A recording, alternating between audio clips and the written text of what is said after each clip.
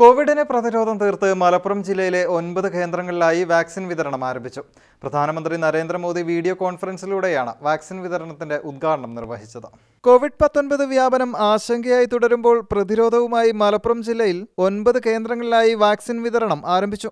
ആദ്യ ദിവസം ആരോഗ്യ പ്രവർത്തകർക്കാണ് കോവിഷീൽഡ് വാക്സിൻ കുത്തിവയ്പ് നടത്തിയത്. പ്രധാനമന്ത്രി നരേന്ദ്രമോദി വീഡിയോ കോൺഫറൻസിലൂടെയായിരുന്നു വാക്സിൻ വിതരണത്തിന്റെ ഉദ്ഘാടനം നിർവഹിച്ചത്.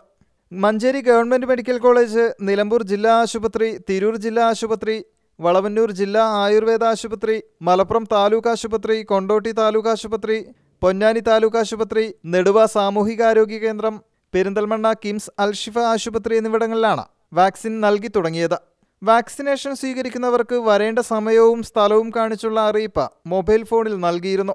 വാക്സിൻ എടുത്തവർ മുപ്പത് മിനിറ്റ് നേരം നിരീക്ഷണ മുറിയിൽ കാത്തിരുന്ന ശേഷമാണ് വീട്ടിലേക്ക് മടങ്ങിയത്. ഞായറാഴ്ച ഒഴികെയുള്ള ദിവസങ്ങളിൽ കുത്തിവയ്പ് തുടരും. ജില്ലയിൽ ഇരുപത്തിമൂന്നായിരത്തി എണ്ണൂറ്റി എൺപത് ആരോഗ്യ പ്രവർത്തകരാണ് ആദ്യഘട്ടത്തിൽ വാക്സിൻ സ്വീകരിക്കുന്നതിനായി രജിസ്റ്റർ ചെയ്തിട്ടുള്ളത്. രജിസ്റ്റർ ചെയ്തവരിൽ നിന്ന് പതിമൂന്നായിരം പേർക്ക് രണ്ട് ഡോസ് വീതം നൽകാനുള്ള വാക്സിനാണ് എത്തിയിട്ടുള്ളത്. വാക്സിനേഷൻ കേന്ദ്രത്തിൽ ഒരു വാക്സിനേറ്ററും നാല് വാക്സിനേഷൻ ഓഫീസർമാരടക്കം അഞ്ച് ജീവനക്കാരാണ് ഉണ്ടായിരുന്നത്.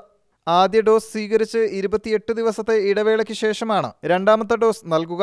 Ponnani Velliri government L P സ്കൂളിൽ നടക്കുന്ന vaccination camp speaker P Sreeramakrishnan സന്ദർശിച്ചു.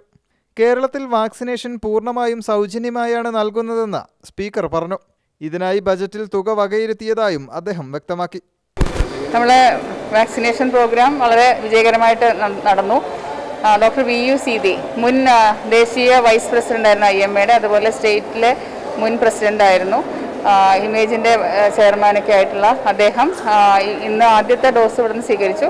രണ്ടാമത്തെ ഡോസ് നമ്മുടെ doctor Rajesh R C H ഓഫീസറാണ് എടുത്തിട്ടുള്ളത്. അപ്പോൾ എല്ലാ സജ്ജീകരണങ്ങളും വളരെ നല്ല രീതിയിൽ പോകുന്നുണ്ട്. ഒൻപത് വാക്സിനേഷൻ സൈറ്റിലും ഇപ്പോൾ കൊടുക്കും.